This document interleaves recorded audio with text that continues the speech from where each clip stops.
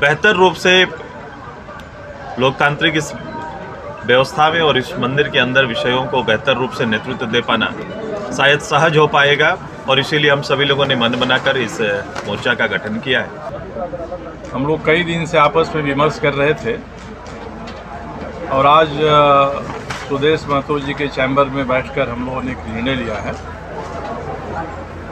और उस निर्णय के बारे में आपको सूचित करना है। पाँच विधायकों का एक दल बना है हम लोगों ने। विधानसभा के अंदर में काम करने का और दायित्वों का जिस रूप से परिपाटी चली आ रही है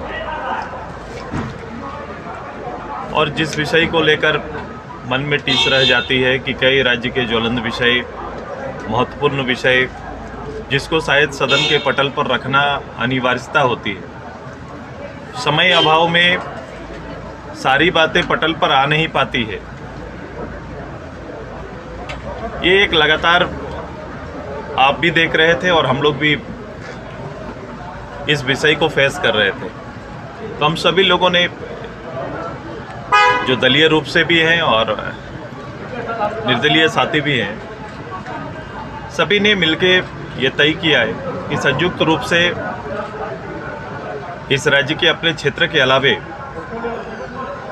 राज्य के मुद्दों पर मुखरता से मुखर होना और बेहतर रूप से लोकतांत्रिक इस व्यवस्था में और इस मंदिर के अंदर विषयों को बेहतर रूप से नेतृत्व दे पाना शायद सहज हो पाएगा और इसीलिए हम सभी लोगों ने मन बनाकर इस मोर्चा का गठन किया है।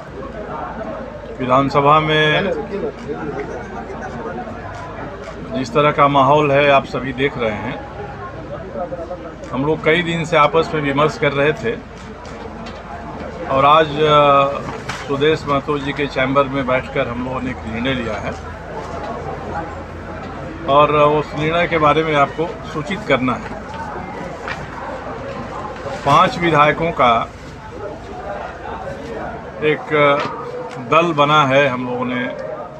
इस पर सहमति व्यक्त की है कि एक झारखंड लोकतांत्रिक मोर्चा के रूप में हम सभी विधानसभा के भीतर और बाहर संगठित होंगे। फ़िलहाल विधानसभा चल रही है तो विधानसभा के भीतर राज्यहित के मुद्दे हैं, विकास के मुद्दे हैं, जनहित के मुद्दे हैं। इन पर जिस गंभीरता से बातचीत होनी चाहिए, उसका अभाव दिखता है।